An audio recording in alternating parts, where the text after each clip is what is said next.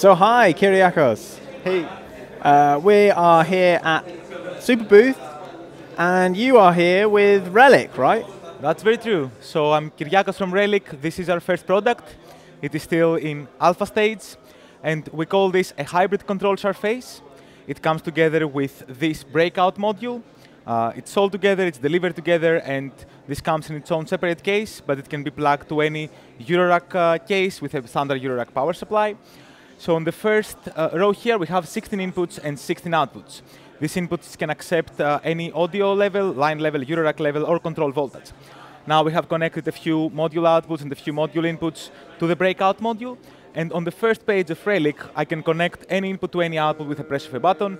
So this is chords going to mix up, or chords going to reverb, four voices of chords, or going to the delay. I can also store different routings, so different connections, and change them in real time by navigating on my preset. And this gives us uh, the possibility to create something which is called matrix sequencer. So the last track of our sequencer here is practically a standard sequencer, but instead of pitch or velocity, it sends different routings, so different patches on the Eurorack. So if I start by playing the sequence, you can listen that in every step, I'm changing the signal flow to going to different reverb, delays, or other effects. Besides that, Reliq also has 32 CV outs, and 16 gates. Uh, on the back of Reliq, you can find also three MIDI outs, one MIDI in, USB MIDI, USB host, and the breakout connection, which is a standard USB-C cable. At this page, we have a 16-track uh, step sequencer. It's a pretty advanced step sequencer. Right now, we have step mode, but we are also working on Euclidean modes, polyrhythms, polymeter, and tracking. Uh, you can see here that all parameters on the landing page are non-destructive, so we're playing mainly with offsets, speed offset, velocity offset, duration, so on, uh, so forth. But if I click any of the parameters, I enter in a piano roll mode.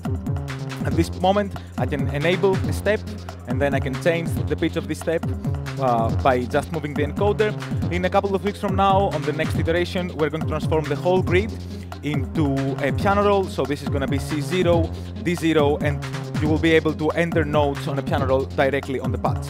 We also have velocity that works on the same way. This will also be isomorphic, so we will have faders on the LED, so you can draw your distribution of velocity. Same here, duration, probability, jitter, micro time, CC number, CC value, and uh, hopefully soon MPE support and uh, more polyphonic uh, features. We're also working on a clip integration where you can store each one of the patterns of the sequencer into a clip, and then you can have follow-up actions like play this pattern for four bars, move to another pattern.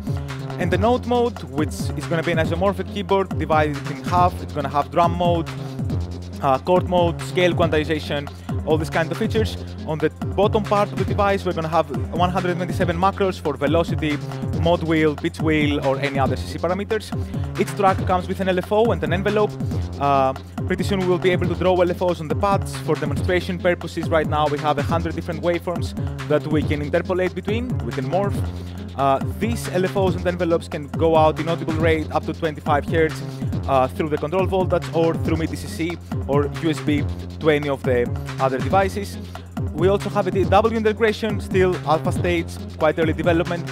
Right now this is connected to Ableton Live and we have all the, we can take all the names and colors of the clips uh, directly here. We can navigate on the grid by using the joystick as before. We can trigger loops, record, solo mute, and it's also synchronized together with all the rest of the hardware.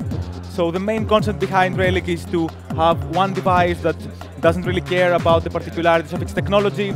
So if it's Eurorack, if it's analog, uh, if it's digital or if it's sequencer, but we can control everything on the same musical workflow from a single uh, interface. Perfect. So when are you kind of hoping to have it done? Obviously, you said that we're kind of at a uh, we're at a late stage here, but late alpha stage. Right. So, so, we hope that in the next few months we're going to move to beta.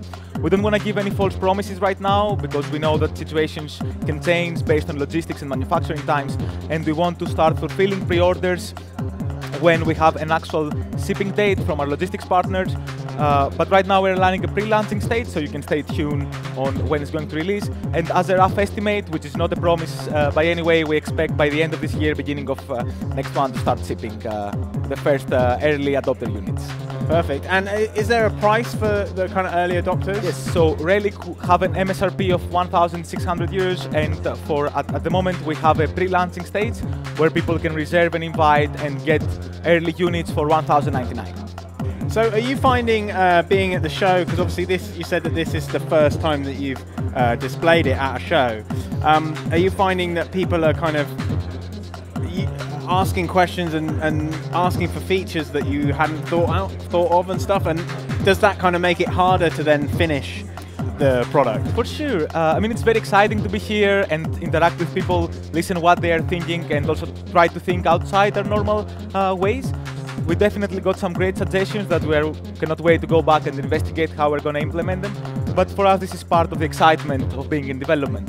And some of these features can be added later on, or some parts of the development can continue while we investigate these features.